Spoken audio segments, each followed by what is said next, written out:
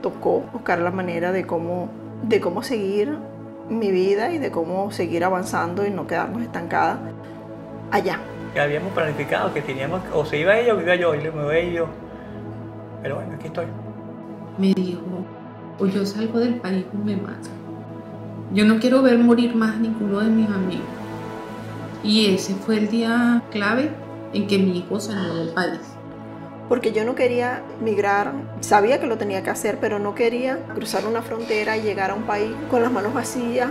Ser migrante y a una edad como la mía no es fácil. Y no sabes si cuando tú regreses a tu país, la gente que amaste, que te amó, ya no va a estar.